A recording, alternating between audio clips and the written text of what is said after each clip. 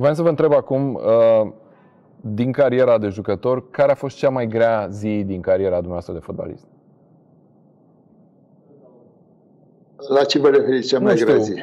ziua de care vă aduceți aminte cu așa, care vi se pare că a fost cea mai complicată zi din viața dumneavoastră de fotbalist? Nu știu, poate din cauza ceea ce s-a întâmplat pe teren sau în afara terenului sau Nu, cea mai complicată, după părerea mea, este când am retrogradat cu oțelul la Hunedoara. așa.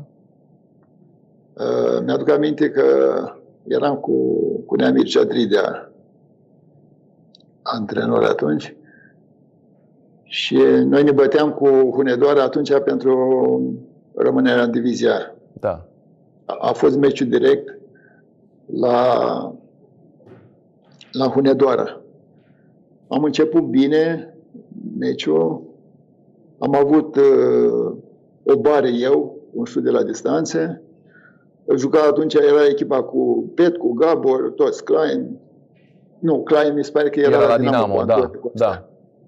Da. Și am pierdut pe un offside. Am pierdut 4-1 până la urmă. Da. Că la un moment dat. Uh, și mi-aduc aminte că era nearbitrat atunci, uh, să mi-aduc aminte, parcă domnul Buciuman de la Timișoara, care a murit Dumnezeu să ierte, și cu, la o tușă la asta, pe partea băncilor, era era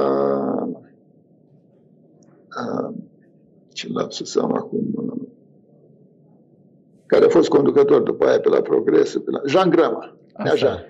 Așa. Și a fost, noi eram pe 16 metri, Gabor pe 6 metri a primit mingea Deci- și eu m-am, m-am întors la, la Neajan și zic, "Bre, Neajan, așa pe față. Da. El l-a chemat pe Buciman și a zis că l-am înjurat de mamă. Și m-a eliminat. Da. Și s-a terminat, deci era, la pauză era 0-0 și s-a terminat 4-1 pentru ei sau 4-0, nu mai știu. Și ați Și am retrogradat. retrogradat atunci. Da. Aia a fost cea mai neagră. M-am dus în autocar, mi-aduc aminte și stăteam și plângeam. Nu e posibil așa. Că eu nu prea, mai scăpam și eu câte o, poate o înjurătură, ceva, dar de obicei nu prea înjuram așa. Dar uh, să-l înjur că i-am zis, ai bine, Jane, chiar așa pe față și el în momentul ăla l-a chemat și m-a eliminat.